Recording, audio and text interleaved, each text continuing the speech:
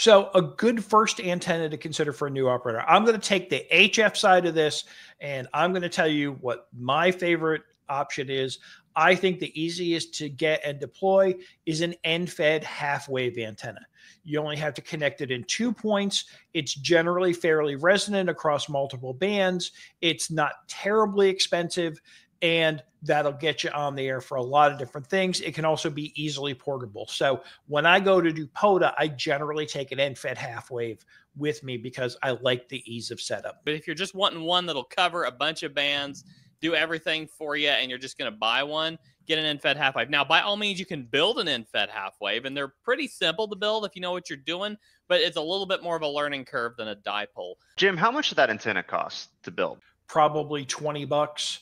I bought a roll of speaker wire and a I had to buy the SO239 uh, connector, and I 3D printed a center element and some dog bones. But if you don't want to do that, um, find a just find a plastic box and screw it in and go for it. So it won't cost a lot to uh, to make something like.